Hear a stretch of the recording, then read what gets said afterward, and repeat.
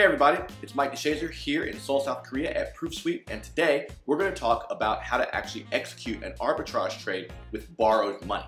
So, in the last video, we talked about how to actually borrow money from a lending pool like Aave, uh, but today we're going to take that money, borrow it, and then we're going to actually execute some trades in between there before we return the money. So, let's take a look.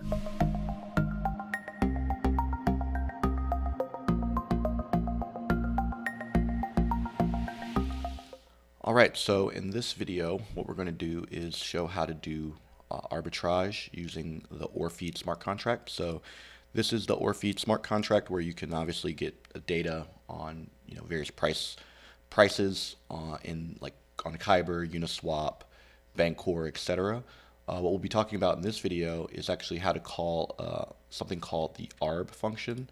So as you can see here, I'm calling the arb function and uh, I'm done performing arbitrage. I'm telling where uh, the funds will be returned to. I'm saying who the liquidity provider is. In this case, it'll be us after we get our flash loan. And then uh, I put a string of tokens that I want to exchange between. So we'll go between DAI to WETH uh, and then back to SAI, uh, for example. Uh, and then the amount.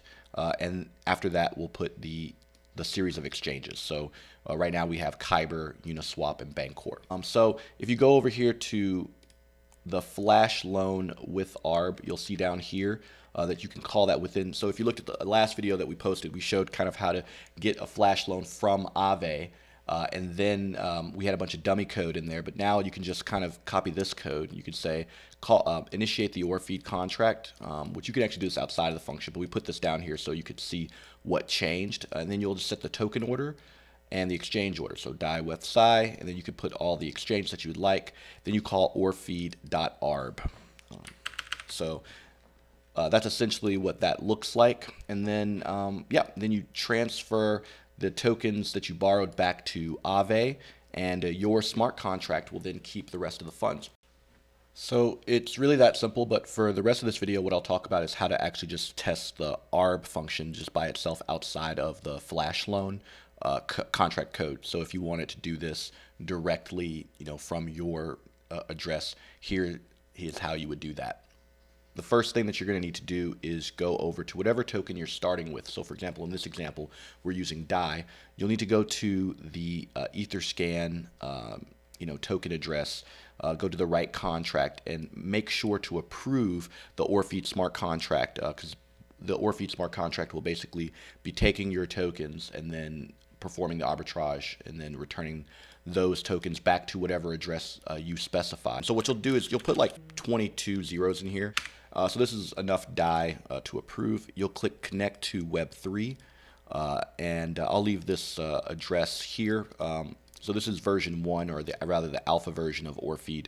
in the future, you might need to update this, but this contract should still work no matter what. I'll click write, and then here, uh, I'll just need to approve that. So I'll set the gas fee a little higher um, just because uh, for the video purposes, we want it to go through quite quickly. And so now what I'll go uh, over and do is uh, I'll go to my remix editor, and you could use whatever editor that you're look, you know, that you want to use.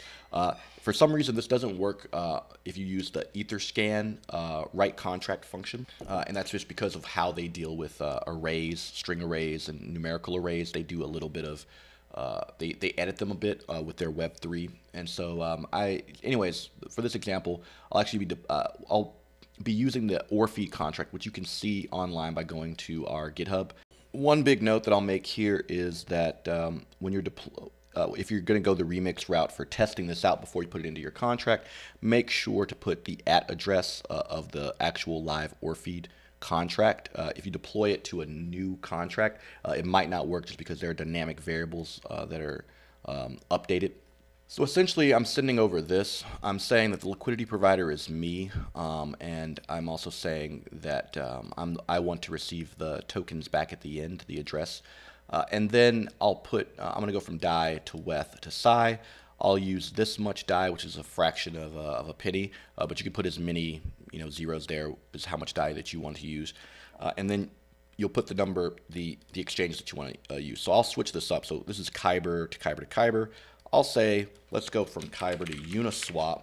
uh, back to Kyber. So I'll copy this. Next thing, uh, you'll need to make sure that the address that you're using actually has some DAI.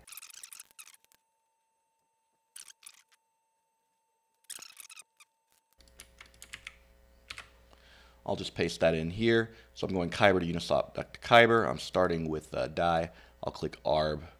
Um, it'll set the gas fee that it thinks it'll take. Uh, in this case, it'll be 16, which will be really high. I recommend only doing this really when the gas is low, especially for ARB, because uh, you want the cost of your gas to, to be pretty low. Um, for the purposes of this, I'll just speed that up a bit. Uh, so that that uh, transaction has been confirmed, and as you can see here, uh, we did some trades between Kyber and then to Uniswap, etc. Um, DAI to WETH to Sai. Um, and uh, that's essentially that. And then the funds are, you know, returned uh, back to us. You can see that last transaction. Uh, that's my address right there. Essentially, you can uh, try that out. That's uh, easy way to perform arbitrage.